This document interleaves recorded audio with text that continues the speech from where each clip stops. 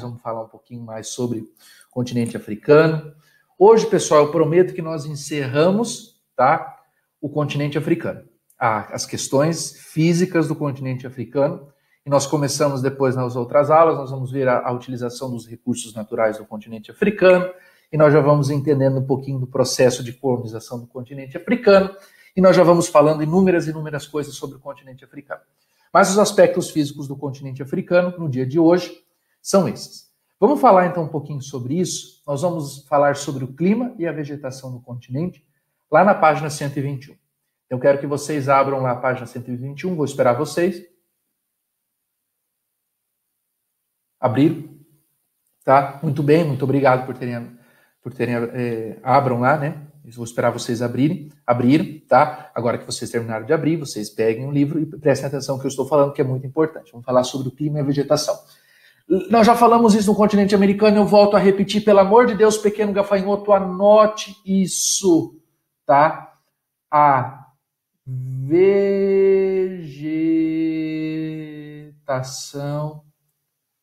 está relacionada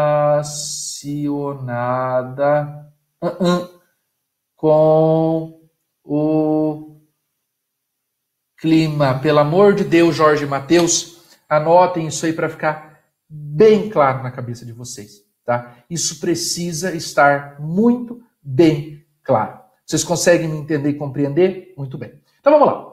Tirando essa parte aí que a vegetação está relacionada com o clima diretamente, que eu já venho falando com vocês várias vezes, vários momentos e várias circunstâncias, vamos falar o que nós precisamos falar realmente sobre o clima e a vegetação do continente. Eu sou o Lucas Tagliari e estou aqui para mais uma aula sobre o clima e vegetação do continente africano. Vocês estavam esperando a vinheta? Não vai aparecer vinheta. Pronto, a vinheta sou eu mesmo. Vamos lá. Pequeno gafanhoto, olha o mapa que está aparecendo aqui ao lado. Tá? Estão vendo? Estão vendo? Clima do continente africano. Esse mapa está mostrando o clima do continente africano. Eu tenho alguns tipos de clima. Por exemplo, eu tenho em vermelho, aqui ó, gafanhoto do sertão. Vamos lá. Deixa eu achar aqui. Esse aqui. Ah, como eu não pago, né? Muito bem. É, ó, eu tenho aqui em vermelho. Deus do céu, gente céu e da terra proclama a vossa glória. Preta aqui, ó. Ó, eu tenho aqui, ó, essa parte em vermelho toda aqui que eu tenho, o clima equatorial, tá? Eu tenho essa região aqui, o clima tropical. Lembra que eu vim abordando para vocês semana passada a respeito dos rios e tudo mais do continente africano? Eu tenho em amarelo região de desertos, né? Eu tenho em branco eu estou falando do semiárido. Eu estou falando de uma região aqui, ó, temperada, ó, aqui, Mediterrâneo. E aqui eu tenho uma outra região de Mediterrâneo e Mediterrâneo. E eu tenho aqui esse verde aqui, o temperado. Lembrem que o temperado, senhoras e senhores, é aquilo que nós chamamos das quatro estações bem definidas no nosso conceito aqui, tá? O nosso conceito, quando nós abordamos a região do temperado, nós entendemos que o clima temperado são as quatro estações bem definidas. Quando então eu estou falando do clima, se vocês olharem nesse mapa, ao lado nós temos o clima, eu vou trazer para vocês, vou diminuir Ploft, tá? aqui eu tenho a vegetação original do continente africano. Eu quero que vocês associem os dois mapas e falem. É, não eu não aguento mais você falar disso. Não aguento. Eu sei que é chato. Eu sei que é extremamente insuportável ficar falando que um está relacionado com o outro, mas eu preciso, pequeno gafanhoto, que você associe, que você lembre isso. Isso é muito importante. Olhem, então, se vocês estão vendo aí esses dois mapas, você, vamos só relacionar um único clima. Peguem o clima equatorial, que aqui no mapa é em vermelho, esse mapa aqui em vermelho. Eu quero que vocês peguem a vegetação desse continente, desse outro mapa. África, vegetação original. Que tipo de vegetação tem? Floresta equatorial. Os dois não estão relacionados? Os dois não estão associados?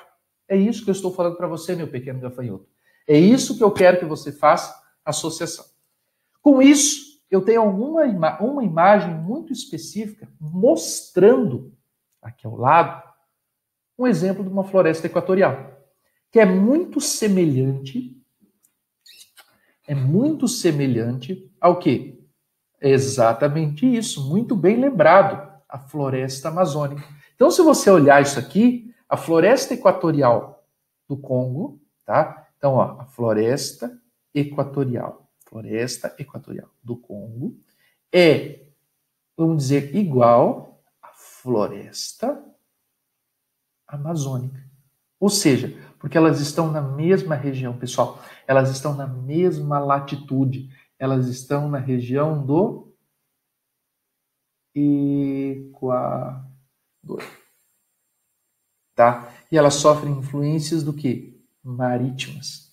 Né? Os, as correntes marítimas conseguem trazer umidade. As correntes marítimas, olha aqui, nessa região elas estão fazendo essa volta aqui, elas estão vindo para cá. Então traz a umidade. A umidade faz com que chova, chuva no telhado, né? Então a floresta consegue se desenvolver. É isso que está acontecendo, meu pequeno gafanhoto. Tá bom? Eu já cansei de mostrar as, né, as imagens e para vocês relacionarem vocês não esquecerem, tá? Ó. Tarzan, né? o filme é gravado, o, o enredo é passado, tá? na floresta equatorial do Congo, justamente quando eu falo do gorila, né? Aí, uma outro, um outro tipo de vegetação muito específico do continente africano, que eu quero mostrar para vocês aqui, é aquela é um que nós conhecemos muito bem, que é muitos que todos nós vemos em documentários quando passa do continente africano, onde mora o leão, né, onde eu tenho esse bicho muito bravo, que é a região da savana. A região da savana está em uma região tipicamente, pessoal, tropical, tá? Olhem a savana aqui, eu estou tendo uma eu quero, estou mostrando para vocês a vegetação da savana. A savana, ela está relacionada com o clima tropical, né? Então, por exemplo, ó, vocês estão vendo aqui oh, meu Deus do céu. Aqui, ó. Ó, vocês estão vendo aqui toda uma região, por exemplo, né, de savana e tudo mais. Ao mesmo tempo, eu estou falando de região de clima tropical, certo? A savana e o estepe, pessoal, eles não têm muita diferença. Existe a diferença, tá? Mas o que eu quero mostrar para vocês é relacionado basicamente à savana, que é isso aqui, ó. Essa vegetação que está relacionada ao filme The Lion King, né? O Rei Leão passa-se na savana africana. É onde os leões estão. Vocês não vão encontrar leão na floresta equatorial do Congo. Vocês vão encontrar gorila. Vocês vão encontrar leão. Se vocês quiserem ver leão, vocês vão encontrar na savana africana. Tá? Então, essas são algumas características que acontecem quando eu estou falando da vegetação do continente africano.